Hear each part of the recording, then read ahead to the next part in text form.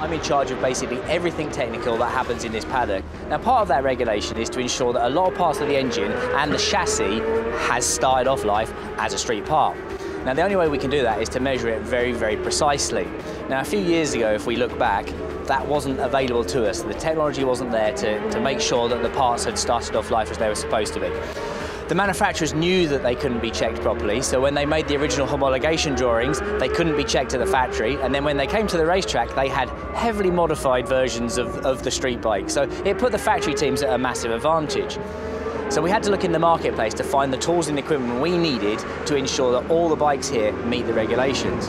Hexagon Manufacturing Intelligence was a product and a brand that stood out for us. We've got great technical support based in the United Kingdom. A lot of my friends and compatriots are involved in Formula One and four-wheel motorsport. I mean, short straw for them, they don't get the fun of two wheels, but with those partnerships and with the recommendation of a lot of other people in motorsport, there was only one choice. Now for us, it's incredibly important that as we're making a measurement in front of a team or a manufacturer, that it's a tangible measurement. And something about probing and using a measuring arm, you can understand, a, a, team can clearly understand what you're measuring and how you're measuring it. And that's actually a very important facet for us. We also obviously have the integrated scanning system so that we can ensure that further parts of the bike are correct. And this year we've started using the, the system to measure internal engine parts as well. So as time goes by, we, we're using the PC software to become more advanced in the parts that we're checking and to more precisely and more rapidly make these measurements.